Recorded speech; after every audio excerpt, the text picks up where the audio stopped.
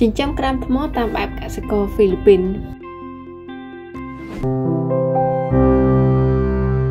ដំណោះស្រាយអាជីវកម្មតាមប្រព័ន្ធបច្ចេកវិទ្យាឈានមុខគេ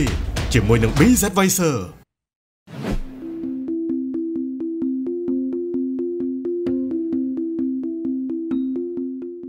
បងប្អូនបានជាតិរួចមកហើយថាដើម្បីចិញ្ចឹមក្តាមថ្ម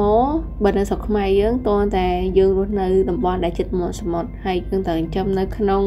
ស្រះជីកដែលមានទំហំធំពីព្រោះថាក្តាមថ្មនៅក្នុង1ម៉ែត្រការ៉េអាចដាក់បានត្រឹមតែពី3ទៅ4ក្តាមទេអញ្ចឹងបើយើងដាក់ច្រើនជាងហ្នឹងគឺវាអាចនឹងខាំគ្នាឬក៏គៀបគ្នាដាច់ដាច់តែជើងអញ្ចឹងធ្វើឲ្យយើងខាត់បងអញ្ចឹងថ្ងៃនេះខ្ញុំនឹងនាំបងប្អូនទៅដឹងអំពីបច្ចេកទេសនៃការចិញ្ចឹមក្តាមបែបថ្មីមួយរបស់កសិករហ្វីលីពីនទោះបីជាបងប្អូនអូននៅទីក្រុងឬនៅតំបន់ណាក៏ដោយឆ្ងាយពីសមុទ្រកម្រិតណាក៏ដោយក៏អាចចិញ្ចឹមក្តាមថ្មបានដែរតែគេចិញ្ចឹមយ៉ាងម៉េចដូចបងប្អូនបានឃើញនៅក្នុងវីដេអូហ្នឹងអញ្ចឹងកសិដ្ឋានចិញ្ចឹមក្តាមថ្មហ្នឹងគឺនៅកណ្ដាលក្រុងតែម្ដងហើយហេតុអ្វីបានគេចិញ្ចឹមបានគឺគេចិញ្ចឹមតាមបែបប្រព័ន្ធថ្មីដែលប្រព័ន្ធហ្នឹងគឺជាប្រព័ន្ធមួយដែលត្រូវបានគេរកឃើញថាវាគឺជាប្រព័ន្ធមួយដ៏ចំណេញមែនតើមានន័យថាបងប្អូនដែលរស់នៅតំបន់ឆ្ងាយមិនចាំបាច់នៅជិតសមុទ្រក៏អាចចិញ្ចឹមបានដែរហើយសូម្បីតែរស់នៅកណ្ដាលទីក្រុងដូចជានៅផ្ទះល្វែងឬក៏ផ្ទះវិឡាក៏អាចដាក់ចិញ្ចឹមបានដែរហើយថាយើងចិញ្ចឹមលេងឬក៏ចិញ្ចឹមដើម្បីញ៉ាំដោយខ្លួនឯងណាតាមប្រព័ន្ធដែលបងប្អូនកំពុងតែឃើញនេះគឺគេហៅថាជាប្រព័ន្ធ apartment ឬក៏ជាប្រព័ន្ធ condo ចិញ្ចឹមក្តាមដែលគេមានដាក់ជាថ្នាក់ជាថ្នាក់ទម្រាបជួរគ្នាឡើងលើណាហើយក្នុងមួយប្រអប់នៃ condo ឬ apartment ហ្នឹងឬក៏មួយបន្ទប់ហ្នឹងគឺគេអាចដាក់ក្តាមបាន2ក្តាមហើយបើសិនបើប្រអប់តូចជាងហ្នឹងគឺគេអាចដាក់ក្តាមបានមួយហើយចំពោះការចិញ្ចឹមបែបនេះគឺចំណាយទឹកតិចមែនតើអត់ដូចយើងចំនៅក្នុងស្រះហ្នឹងណាដែលយើងត្រូវទៅដាក់ទឹកពេញពេញស្រះហើយទៅដូរទឹកហើយនឹងត្រូវមើលការថែទាំទឹកទៀតទេតែនៅក្នុងការចិញ្ចឹមប្រព័ន្ធបែបនេះគឺមិនចាំបាច់ប្រើកន្លែងធំទី1ហើយទី2គឺប្រើប្រាស់ទឹកក៏តិចដែរគេថាប្រើប្រាស់ ទីធ្លាតូចក៏ចំបានហើយប្រើប្រាស់ទឹកតិចដូចបងប្អូនឃើញអញ្ចឹងគឺទឹកហ្នឹងគេដាក់អត់លិចស្នូកក្តាមទេហើយចំពោះបច្ចេកទេសនៃការចិញ្ចឹមហ្នឹងខ្ញុំមិនអាចល្មិតឲ្យបងប្អូនបានទេពីព្រោះខ្ញុំមិនមែនជាអ្នកជំនាញអញ្ចឹងបើសិនបើខ្ញុំនិយាយពីបច្ចេកទេសទៅអាចថាមានការខុសអញ្ចឹងសិនបងប្អូនចាប់អារម្មណ៍បងប្អូនអាចទៅស្រាវជ្រាវបន្ថែមពាក់ព័ន្ធជាមួយនឹងការចិញ្ចឹមក្តាមនេះបានហើយមួយវិញទៀតចំពោះការដាក់ចំណីក៏តិចដែរមានថាប្រព័ន្ធនេះគឺវាចំណេញច្រើនតែម្ដងកន្លែងក៏តូចទឹកក៏តិចហើយចំពោះចំណីវិញក៏តិចដែរ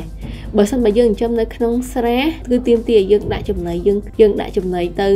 យើងបោះឲ្យវាទៅក្នុងស្រះណាអញ្ចឹងយើងអត់ដឹងថាទៅចំណីនឹងបានទៅក្តាមស៊ីប៉ុណ្ណាហើយវាលិចកប់ទៅក្នុងភក់ប៉ុណ្ណាទេក៏ប៉ុន្តែនៅពេលដែលយើងចិញ្ចឹមនៅក្នុងខុនដូនេះគឺឧទាហរណ៍តែក្តាមមួយវាស៊ីត្រីមួយនៅក្នុងមួយពេលចុះអញ្ចឹងយើងដាក់តែមួយទៅហើយយើងអាចតាមដានទៀតបើសិនបើក្តាមនឹងវាស៊ីត្រីអត់អស់មួយទេនៅក្នុងមួយពេលយើងអាចកាត់បន្ថយយើងអាចកាត់មួយកណាត់ដាក់វាចូលទៅអញ្ចឹងទៅហើយយើងងាយស្រួលគ្រប់គ្រងមែនតើតាមប្រព័ន្ធគេហើយវាមានប្រព័ន្ធអុកស៊ីសែនមួយចំនួនដែលគេអាចរៀបចំតាមបច្ចេកទេសរបស់គេហើយទាំងនេះហើយគឺជាការចិញ្ចឹមក្តាមថ្មតាមបែបហ្វីលីពីនហើយការចិញ្ចឹមបែបនេះគឺកំពុងតែផ្ទុះខ្លាំងមែនតើនៅលើបណ្ដាប្រទេសមួយចំនួនហើយបច្ចុប្បន្ននៅប្រទេសថៃក៏ដូចជានៅវៀតណាមក៏គេមានចិញ្ចឹមបែបនេះដែរពីព្រោះយើងអាចពឹងផ្អែកទៅលើការចិញ្ចឹមតែនៅសមុទ្រឬក៏អាចរកទៅពីសមុទ្របានទេអញ្ចឹងហើយទាមទារឲ្យយើងបង្កើតនៅបច្ចេកទេសថ្មីដើម្បីចិញ្ចឹមក្តាមថ្មនៅកន្លែងណាក៏បាននៅសៀមរាបក៏ចិញ្ចឹមបានប្រទេសមានជ័យក៏ចិញ្ចឹមបានប៉ុន្តែទាមទារឲ្យយើងចេះបច្ចេកទេសខ្ពស់ដែរពាក់ព័ន្ធជាមួយនឹងការលាយទឹកអញ្ចឹងបើសិនបើបងប្អូនចាប់អារម្មណ៍បងប្អូនអាចទៅរៀនសិនមុននឹងបងប្អូនចាប់ផ្ដើមដើម្បីជៀសវាងការខាត់បងពីព្រោះថារបបកសិកម្មកាលណាទៅយើងអត់ចេះបច្ចេកទេសទេស្មើនឹងខាតសឹង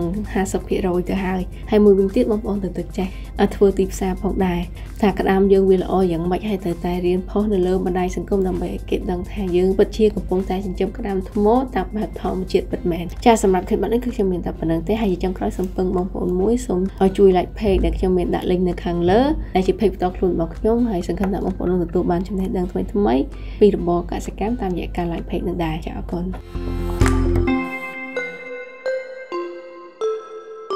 គ្រប់វីដេអូទាំងអស់ពួកយើងធ្វើឡើងដើម្បីអនាគតកម្ពុជាសូមចុច Subscribe ដើម្បីទទួលបានគំនិតអាជីវកម្មថ្មីៗមុនគេ Biz Advisor គឺជាក្រុមហ៊ុនផ្ដល់សេវាកម្មកម្មវិធីគ្រប់គ្រងអាជីវកម្មតាមប្រព័ន្ធបច្ចេកវិទ្យាដែលមានភាពឆ្លាតវៃពួកយើងបានចាប់ផ្ដើមតាំងពីឆ្នាំ2013ហើយពួកយើងបានជួយអាជីវកម្មច្រើនប្រភេទផ្សេងៗគ្នាជាង200ក្រុមហ៊ុនឲ្យទទួលបានភាពជោគជ័យពួកយើងគឺជាផ្នែកមួយយ៉ាងសំខាន់ដែលបានជួយជំរុញអាជីវកម្មទាំងនោះឲ្យឈានដល់គោលដៅដោយបានកាត់បន្ថយភាពស្មុគស្មាញនិងផ្ដល់ត្រឡប់មកវិញនូវការគ្រប់គ្រងមួយដ៏ងាយស្រួលនិងប្រកបដោយភាពច្បាស់លាស់មូលហេតុទាំងអស់នេះធ្វើឲ្យ BZ Advisor ក្លាយជាក្រុមហ៊ុនដែលមានគុណភាពនាំមុខគេមួយនៅក្នុងប្រទេសកម្ពុជាអ្វីដែលនៅពីក្រោយលទ្ធផលល្អនេះគឺអ្នកជំនាញរបស់យើងដែលមានដូចជា Business Analyst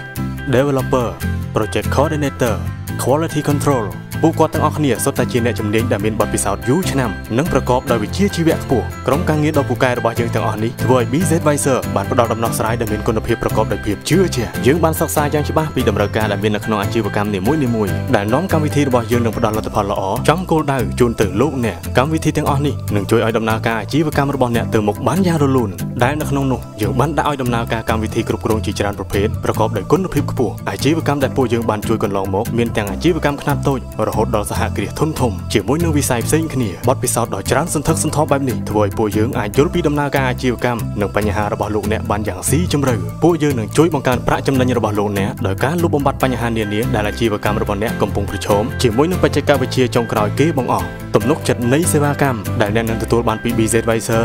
គឺពេលវេលាច្បាស់លាស់ប្រកបដោយគុណភាពខ្ពស់ហើយនឹងត្រូវចំគោលដៅ ជាមួយនឹងការឆ្លើយតបយ៉ាងរហ័សប្រកបដោយប្រសិទ្ធភាពហើយអាចបត់បែនបានគ្រប់ស្ថានភាពនៅពេលដែលមានតម្រូវការអ្វីមួយតើអ្នកនៅរងចាំអ្វីទៀតចង់ឲ្យអាជីវកម្មរបស់អ្នកទទួលបានភាពជោគជ័យសូមតាក់ទងពួកយើងនៅពេលនេះ BZ Advisor Simplify your business